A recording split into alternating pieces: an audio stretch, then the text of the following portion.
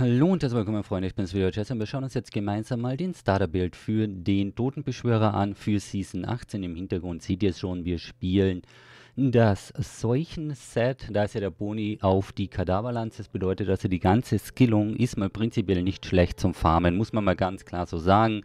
Hat auf jeden Fall Potenzial als Starter-Farm-Skillung, bis ihr das Lon-Set für Ratma und so weiter zusammen habt ist es eine ganz gute Alternative vom Set-Boni her. Die Kombination mit dem neuen geänderten Captain-Set, was nochmal für CDR und auch für Schaden sorgt. Wir gehen dann später nochmal auf die Sachen ein, dann zeige ich es euch nochmal im Detail, aber im Endeffekt das in Kombination sieht mal vernünftig aus, Paragon-technisch haben wir hier ein paar Punkte vergeben. Und zwar, ich weiß jetzt nicht mehr genau wie viele, ich glaube es waren sogar fast 1000 oder so. Ja, das ist jetzt ein bisschen überdimensioniert für die Schwierigkeitsgrade und so weiter, aber ich möchte ganz klar sagen, dass der Necro in diesen Skillungen, Necro generell als Klasse, wenn ihr da alleine spielt, ihr braucht ein paar Paragon-Punkte und ein paar Schlüssel-Item, damit diese Skillung vernünftig funktioniert. Ansonsten müsst ihr den Schwierigkeitsgrad runterdrehen, weil es macht nämlich überhaupt keinen Spaß mit der Klasse so rumzufarmen auf T, sei mal vielleicht 15, wenn das Gear nicht stimmt, wenn noch 0 Paragon vorhanden ist, weil ihr einfach immer umgedreht werdet.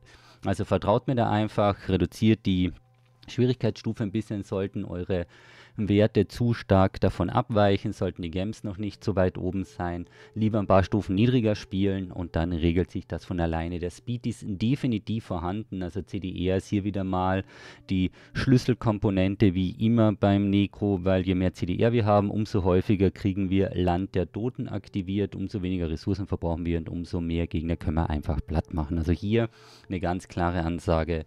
CDR über alles und natürlich noch ein Ingium dazu, so wie es bei einer Farm-Skillung Farm gehört, weil im Endeffekt ist es dann so, wenn ihr ein, zwei Elite-Packs erwischt, ist euer Land der Tote wieder ready, habt ihr es wieder praktisch durchgehend aktiv, tötet wieder ein, zwei Elite-Packs, heißt es wieder ready. Also es ist immer so eine Skillung, die von Elite zu Elite geht, alles was dazwischen ist, wird sowieso über die Kadaverlanze einfach weggemäht und mit Ingiom ist dann das Ganze hier wieder bereit und wieder ready. In der Gruppe ist das Ganze natürlich äußerst effektiv, auch von dem Season-Thema her, weil beim Season-Thema die Kreise, da können wir uns reinstellen, da gibt es CDR-Kreise, das sind die Türkisen oder eben die Lilanen für mehr Schaden. Das ist natürlich dann super effektiv, vor allem in der Gruppe, weil da habt ihr ja noch andere, die mitspielen, die vielleicht den ein oder anderen Elite töten und dann geht sich das Ganze wunderbar aus, dass es auch wieder ready wird, also dass man hier weiterspielen kann und die Sachen dementsprechend wieder ready werden. Also hier mal, man kann natürlich alleine Necro spielen, aber in der Gruppe wird die Stärke wesentlich besser genutzt, besonders am Anfang. Dann, wenn ihr mal ein bisschen Gear habt, wie ihr es im Hintergrund seht und ein bisschen Paragon habt, dann ist das kein Thema mehr. Dann könnt ihr das Ganze entspannt zum Farmen nutzen. Auch mal hier später nochmal der Hinweis, also das ist so zum Einstieg die Skillung in die Season. Später mal muss ohnehin Lon gespielt werden. Also Lon Ratma dominiert wieder alles oder sonst vielleicht den Dornenbild beziehungsweise den Kal den Lanzenbild, alles mit den uralten Items und den neuen Gem gespielt.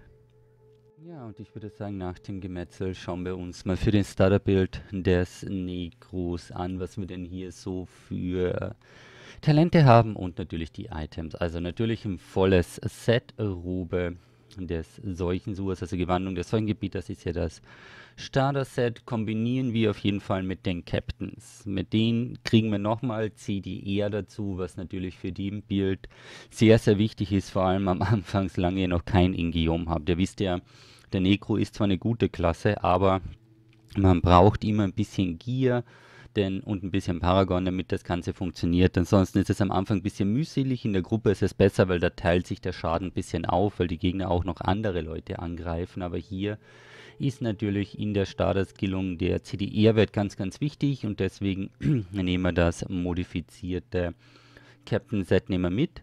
Wenn ihr dann später genügend Gier habt, könnt ihr das sogar austauschen gegen ein Reise der Weißen Set. Bedeutet das, es wäre theoretisch möglich, mit dem Set auch Atem des Todes Farm-Set einzubauen und dann habt ihr hier eine relativ gute ADT-Farm-Skillung. Für Qual 16 funktioniert es nur dann, wenn ihr auch wirklich schon sehr, sehr gutes Gear habt. Also da farmt ihr dann halt einfach auf 14 oder 15. Aber durch das Atem-Set kommen hier eh mehr ADTs raus. Also das funktioniert dann soweit ganz gut, aber erst, wie schon gesagt, wenn ihr ein bisschen Paragon und ein bisschen Gear auf jeden Fall mit am Start habt. Die Halskette wäre dann noch ganz wichtig, weil mehr Damage und dann natürlich die dementsprechenden Ringe, also Prunkring benötigt ihr, damit beide Sets aktiv werden können. Wir nutzen dann noch einen Urteilsring und einen Zusammenkunft der Elemente. Zusammenkunft der Elemente könnte man gegebenenfalls vielleicht gegen eine Einheit austauschen, wenn es zähigkeitstechnisch, wenn ihr alleine spielt und wenn es zähigkeitstechnisch wirklich zu kritisch wird, könnt ihr das auch auf dem Begleiter ableiten. Könnte man sich überlegen. Dann äh, Schwarzer Tod für mehr Damage, die Schulterpanzer und wie schon gesagt, die königlichen Prunkring, um das Ganze hier auch ein bisschen abzurunden. Wenn wir jetzt mal auf die Talente schauen, was wir hier haben. Knochenrüstung, Verrenkung, Verschlingen mit der Aura, weil es halt einfach gemütlicher ist. Gegebenenfalls könntet ihr es sonst gegen kannibalistisch austauschen. Dann müsst ihr das aber auch wirklich selber immer wieder klicken, damit das aktiv ist. Die blutigen Pfade mit sterbliche Überreste haben wir hier noch dabei. Die Kadaverlanze hier auf der Giftrune. Deswegen auch Gift überall rauf, wo man Gift draufgeben kann, damit sich das hier ein bisschen besser aufteilt. Knochenspeer und Land der Toten. Passiver ganz klar einmal Einzelgänger, das NAP-Talent, das ist sehr, sehr wichtig, weil es passiert öfter mal, dass man einen härteren Hit kassieren. Blut ist Macht und Rigor Mortis für noch ein bisschen mehr Speed. Beat. Ja, das war's mal. Wie gesagt, es ist ein bisschen mühselig. Bin ich ganz ehrlich, also wenn je mehr, jeder Paragon-Punkt wirkt sich halt dann sehr stark auch auf eure Skillung aus. Das werden die ein oder anderen kennen, welche den Neko spielen und dann könnt ihr damit Gas geben. Ist jetzt nicht so schlecht wie vielleicht in den letzten Seasons, aber es ist auf jeden Fall ein bisschen kniffliger. Ja, vor allem für die, die Hardcore spielen, das ist noch ein dicken kniffliger. Ähm, ich werde euch dann noch einblenden den modifizierten Ratma. Denn Lon Radman wird natürlich auch in Season 18 wieder ein großes Thema werden. Führt halt kein Weg vorbei, vor allem nicht, wenn ihr Paragon machen möchtet.